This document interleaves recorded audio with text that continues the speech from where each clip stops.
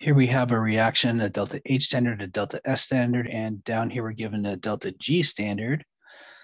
The quantity of heat really released when you use this many grams is the standard value adjusted for how many moles of reaction you run. So if you have two moles of this, you get to run the reaction one mole of times. If you have four moles of chemical, you only get to re- run the reaction two moles of times. So what we're going to do is convert to moles and say you get the reaction one half as many times as this number of moles and multiplied by the delta H standard. And that will be the kilojoules per mole of chemical. Notice that it's per mole of chemical on the bottom there that you will get. Remember, we have delta G standard and we're just going to put it in here. We know the temperature is 298 Kelvin. Remember to make this joules by multiplying by a thousand. Don't forget both negative signs. It's very easy to end up with one through carelessness, uh, but we've all done it. And multiply and take inverse natural log. This has a justification using Gibbs free energy equation. I have another way. If delta H standard is a negative number, then the heat is coming out and it lives over here. If we increase the temperature, that's providing heat to the reaction, that will force it back left. Left is a less negative delta G standard number, less negative. If the reaction is being forced backward in the current conditions compared to the previous conditions, then delta G standard has got to become more positive. Or we could say if this is going up, then because this is a negative, a negative, right?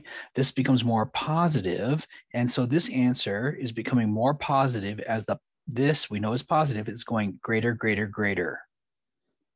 On C, we're asked for the standard molar entropy for O2, and that might seem like that's maybe even impossible, but the standard delta S will be the standard entropy of the products minus the reactants, remembering that this is rated per mole of reactions run. When we run the reaction one mole of times, you need two of these and one of those and two of those. So what we'll get is the entropy times two minus this entropy times two minus this entropy times one, and that's what we're solving for.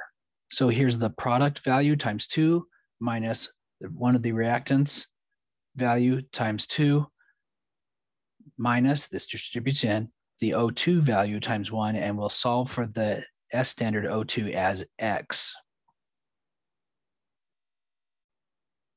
The somewhat difficult thing to remember maybe about the bond energy calculations is that it's reactants minus products. We've said it so many times the other way around that I start to forget.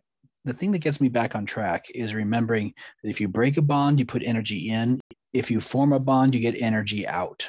When we run this one mole of times, we're going to break two of these and one of those and form two of those, but we have to drill down a little farther. We're going to break two of these bonds, that's energy in, that's a positive value. One of these, that's energy and that's a positive value. And the other trick to this that is very easy to forget is that the N is in the middle of two O's. So it's bonded once, twice, and then we have two of that molecule. So we're going to form four of those bonds and release that much energy, that value down below, four times as we create two molecules of this. So we'll take the delta H standard value from the very top put it in here. Take double this, put it here. One times this, put it there. We're solving for this, so it's four of those. Remember that that's a negative because they're being formed and energy is coming out. Then we can subtract over, subtract over, divide by negative four, and we get our final value, and that is for NO2.